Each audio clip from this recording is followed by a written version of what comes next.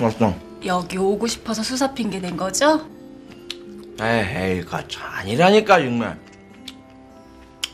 아, 근데 이게 얼마 만에 와보는 김밥 해분이냐. 나 너무 행복하다 지금. 근데 갑자기 이런 거 먹어도 돼요? 수액만 맞다가? 이거 뭐 먹고 설사밖에 더 하겠어요? 먹고 싸면 되는 거지 뭐. 아 진짜 밥 먹기 두렵게 진짜. 알았어, 알았어. 근데 잠깐만. 내 똥오줌 누가 받았어요? 수액만 맞았으니까 소변 라인 빠져 있었잖아요. 아니, 아니 그때 말고 그러니까 이번 초기에 그 왜 여기 좀 이렇게 이렇게 남아 있었을 거 아니야. 요거 요거 이거 누가 치웠냐고 이거. 내가 받았어요. 왜요? 정말? 집에 뭐 제일 싫어하는 그러면 그 봤어요? 뭘요? 뭐 뭐가 뭐예요? 내 거 그거 그 응?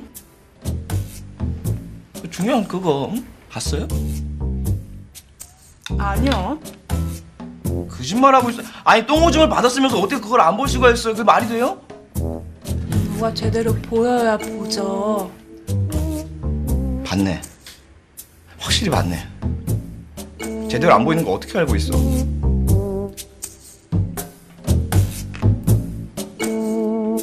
이렇게 잘 보이는데.